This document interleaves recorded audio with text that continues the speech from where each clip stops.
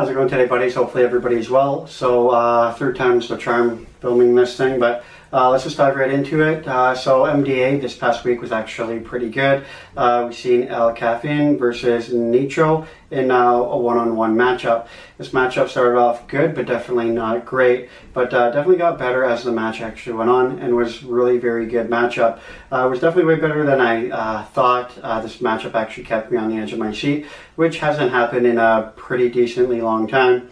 Uh, so definitely was a hard fought battle and uh, was definitely won, uh, eventually won by Nitro. Um, I thought this matchup was really good. Like I said, uh, definitely kept me on the me on the edge of my seat. It was one of the better matches that I've seen in the past couple weeks. Anyway. Uh, so PWG ended up uh, holding an event on October 19th. Um, triple threat matchup happened. It's seen Puma King versus King Horus uh, versus Flamita.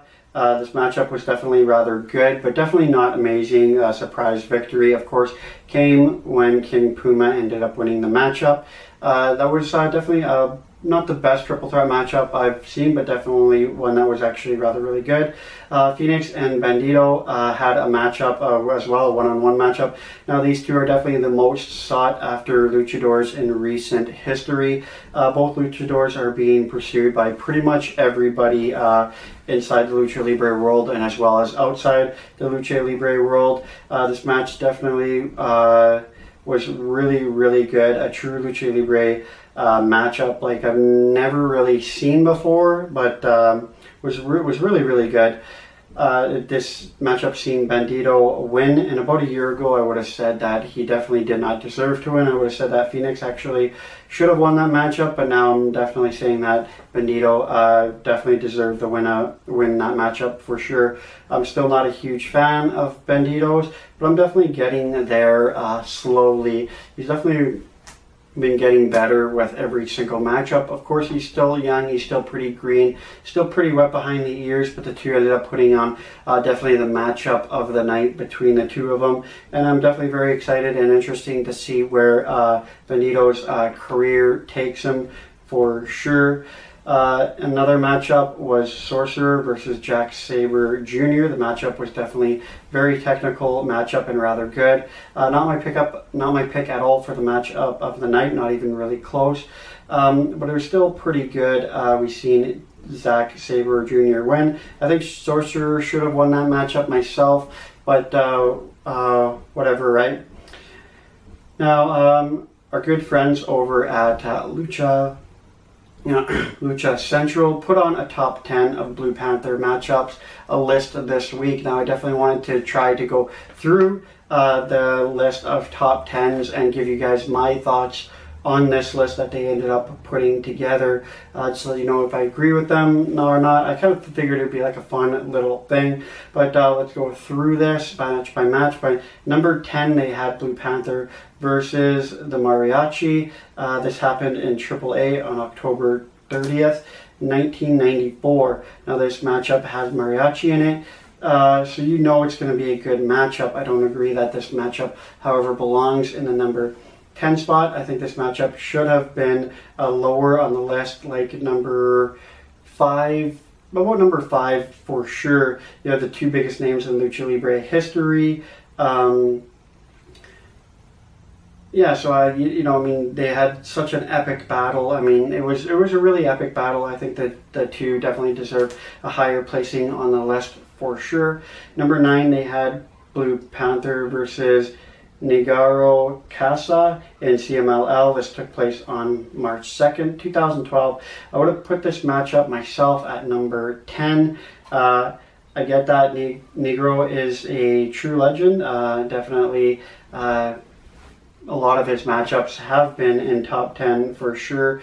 Uh, I think that he's a top 10 luchador in everybody's books. I just feel that this matchup definitely uh, was a man you know, it really wasn't that great of a matchup. Definitely not to um, hit that uh, top 10 uh, status anyway, or at least the 10. Um, number 8, they had Blue Panther versus Love Machine uh, 1. Now, this matchup was definitely a huge matchup. They were actually even turning away people uh, from the doors that because their arena was overpacked. Uh, now that I figured this matchup should not have been on the list at all. Uh, I think this matchup was not really good for both luchadors. I don't think they were both on that night. I definitely found them, this matchup to be a rather big sleeper. Uh, number seven, they had uh, Blue Panther versus uh, Angel Azteca. This match took place on September 4th, 1992. Uh, both both rest, both luchadors were definitely on their best, definitely, and this will always be remembered as um, you know one of the best matches out there. But uh, I definitely agree that it should be at number seven. Uh, I think uh, both luchadors are were definitely in their prime during this matchup, but I don't know. It was just it was good, but definitely uh, wasn't great. Uh, number six, they have Blue Panther versus Last Dragon. This match took place on January 21st of 1992. Now, again, I don't agree with this being this low. I agree with it should be on the list, but it should be around 10, probably 8 or 9. This matchup was definitely one of the most explosive matchups really to ever come out of uh, Lucha Libre. Both uh, luchadors gave this match every single ounce that they had. It was truly amazing matchup, and it will definitely live on forever. I just, however, don't think it should be. Uh, I just think it should have been higher up on the list myself. Probably, like I said, about number nine or number eight. Now, number five on my list, they have Blue Panther uh, and Eddie Guerrero, Ella Park and Psicosis versus Son of Saint, Jushin Thunder, Liger, Octagon, and Tiger Mask. Triple A on May 15th of 1994. Now I don't think this matchup should myself should even be on the list.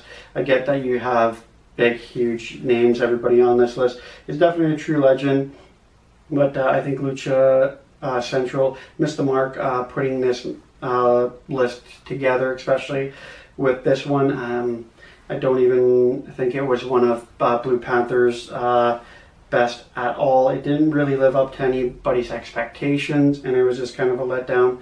Next one on the list is Blue Panther versus Love Machine Part 2. Now, this match should also not be on the list. There's a lot of other truly great Blue Panther matchups that should have made it rather than this, so I just I, I don't think it should be on the list. Number three took place on October 9th, 1992, which was Blue Panther versus Super Astro. This match I agree should be on the list, but I definitely think it should probably be about number four instead.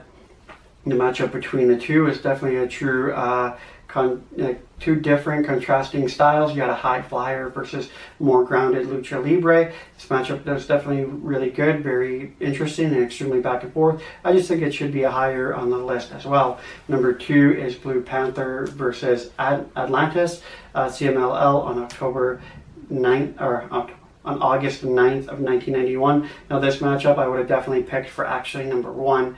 It was not only was it Blue Panther's best, but um, it was one of his best of all time. Uh, definitely number one. Uh, I thought that should have been. It was definitely his greatest matchup ever. Uh, number one uh, they have as Blue Panther versus Villano 5 CMLL on September 19th, 2008. The, they have this as number one. I would definitely not have this as number one. I would have it as number five for sure, but like I said earlier, there's so many great Blue Panther matchups. I definitely wouldn't have uh, chosen this one to be close to number one. It was a really good matchup. We're looking at Lucha Libre at the time. Uh, in 2008, matches that were coming out were just okay, even uh, for Blue, Blue Panther matchup. This was definitely not his top matchup at all. But anyway, guys, that's just the whole thing I have. Let me know if you agree with me on the list, on the top five, or if you agree, agree with uh, Lucha Central, that they had it right on the money. Let me know what you guys think. Uh, that's the video for today. Don't forget to like, comment, subscribe. You know very much, and I will check you in the next video.